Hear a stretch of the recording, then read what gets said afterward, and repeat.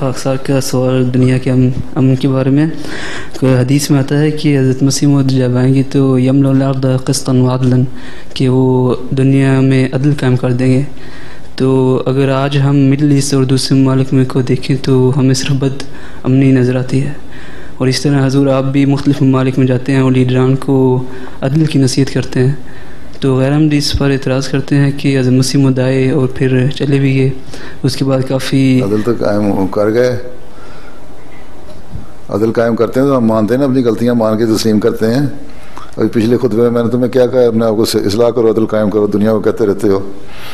اس لیے کہا ہے نا، کوئی مولوی کہتا ہے کہ ہم، ہمارے میں یہ کمزوریاں ہیں، تو دور کرو اور عدل قائم کرو۔ ہم ہی مانتے ہیں، ہم ہی کہتے ہیں۔ تو یہی قائم کرنا ہے عدل۔ کہ اپنی غلطیوں کو ماننا اور عدل قائم کرنا، اس کے لیے کوشش کرنا۔ جماعتی نظام جو ہے، ٹھیک ہے، ماحول کے اثر کے تحت بہت ساری برائیاں پیدا ہو گئی ہیں اور ہو جاتی ہیں بعض زمانے سے دور، لیکن ایک خلافت کا نظام ہے جو ان کو بار بار تلقین کر کے اس اصل تعلیم کی طرف لے کے آتا رہتا ہے۔ اس لیے اس وقت جماعت احمدیہ ہی ہے، جس میں کم سے کم اس قسم کی برائیاں پائی جاتی ہیں۔ ٹھیک ہے؟ جو دنیا میں عام مسلمانوں میں زیادہ ہیں۔ تو عدل قائم کرنا یہ کیا تھا؟ یہی تھا کہ صحیح اسلام کی تعلیم کو لاگو کرنا اور اس سے مسلسل اس پہ توجہ دلاتے رہنا۔ اور وہ حضرت مسیم السلام نے کیا اور اس کے بعد آپ نے خلافت کے نظام کا کے بارے میں پیش گوئی فرمائی اور اللہ تعالیٰ نے اس نظام کو جاری فرمایا۔ ٹھیک ہے؟ اور وہ چل رہا ہے اور وہ کوشش کر رہا ہے۔ تو یہی یہی اس سے مراد ہے کہ عدل قائم کرنے سے یا اور کہاں آپ کو نظر آتا ہے؟ کہیں آتا ہے؟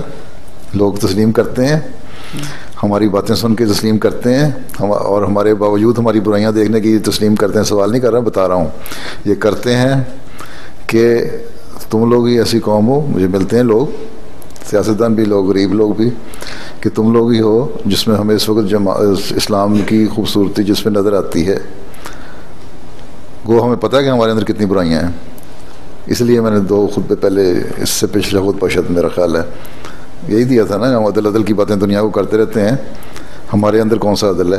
کیا ہم گواہی دینے کو تیار ہیں اپنے خلاف؟ دیا تھا نا عہدیداروں کو، کہا تھا نا میں نے، پہلے ان سے شروع کرو۔ یہی یہی عدل قائم کرنا ہے۔ کہ اپنے اوپر نظر رکھ کے، اپنی اصلاح کی طرف توجہ رکھنا۔ اور کوئی توجہ نہیں دے رہا، اور کوئی لیڈر کو توجہ نہیں دلا رہا۔ اور وہ دلا رہا ہے تو آپ بھی وہ کہہ تو دیتا ہے لیکن کچھ نہیں، خود نہیں کرتا۔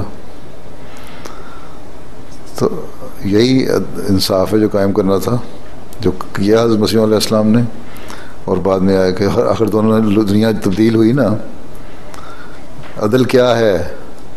عدل کو یہ نہیں کہ دادی کرسی بیٹھ کے تکڑی ہاتھ میں پکڑ کے تو فیصلے صرف کرنے عدل یہ ہے کہ انصاف کے ساتھ تعلیم پر عمل کرنا۔ اس کی کوشش کرنا دوسروں کے حق دینا اللہ تعالیٰ کے حق ادا کرنا ٹھیک ہے عدل کی تاریخ تو بڑی وسیع ہے ٹھیک ہے نا جی نہیں کر رہے تم کئی چور ڈاکو حضرت مسلم علیہ السلام کے زمانے میں تھے جنہوں نے توبہ کی اور امن امن قائم کرنے والے بن گئے تو عدل ہی تھا ہو گئے نا۔ کئی تھے اپنی حالتوں میں بدلنے والے، ابھی۔ جب میں سویڈن گیا ہوں، تو وہاں ایک عورت، غالباً وہیں تھی۔ لوکل تھی میری احمدی ہو گئی تھی۔ میں شکتی میں شرابی تھی، میں ساری برائیاں تھیں، میں یہ یہ یہ کام پورے کرتی تھی، سب کچھ۔ احمدی ہونے کے بعد میرے اندر ایک تبدیلی پیدا ہوئی ہے۔ اور لوگ ملتے ہیں، ایک بوڑھا ملا ہے مجھے شخص۔ وہ کہتا ہے کہ میں نے دیکھا کہ انصاف اور صحیح تعلیم یہاں چاہے جماعت احمدیہ میں میرے اندر ایک تبدیلی پیدا ہوئی ہے۔ تو وہ تبدیلیاں تو پیدا ہو رہی ہیں۔ جن میں نہیں ہوں گی وہ کٹ جائیں گے۔ ٹھیک ہے؟ نا سوکھی سوکھی شاخ کی طرح کاٹ دیے جائیں گے تو کٹ جاتے ہیں۔ تو یہ جو کوشش ہے، مسلسل یہی ہے، یہی قائم کرنا ہمارا تھا۔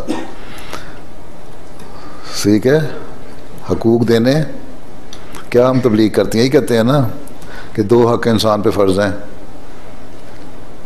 اللہ تعالیٰ کا حق اور بندوں کا حق۔ اسی کی تلقین کرتے ہیں اس کی تبلیغ کرتے ہیں۔ اور لوگ سمجھتے ہیں کہ ان دو حقوق کے ادا کرنے میں تم لوگ ہی اس وقت سب سے اوپر ہو۔ جن سے واسطہ ہے۔ اگر تم نہیں ہو تو اپنے اندر تبدیلی پیدا کرو، بنو۔ تم نے تم ربی بننا ہے نا، تو پہلے اپنے اندر عدل پیدا کرو نا۔ پھر بنو گے۔ ہوں انشاء